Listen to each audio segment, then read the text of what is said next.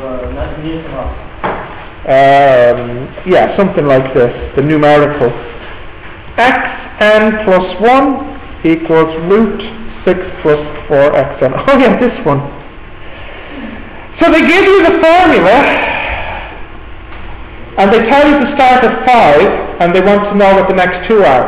So, you know, provided that you know how to use your calculator, you take 5 and you put it in here.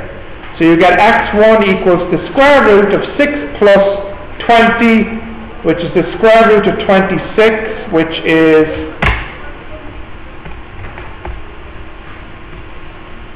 five point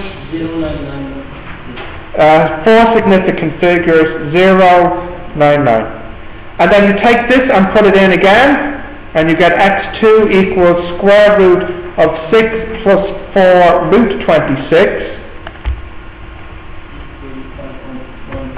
Yeah, well, I'll see now for myself. Five point one three eight.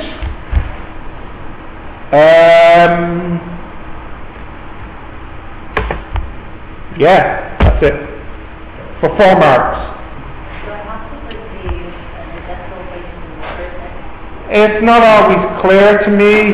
Uh, normally in the marking scheme, they put this number back in, but sometimes they put this number back in.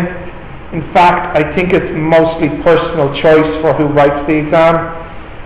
I, um, I think in fact, Ali, you put this number in, the decimal in, and he got the same answer, so it didn't matter in this case.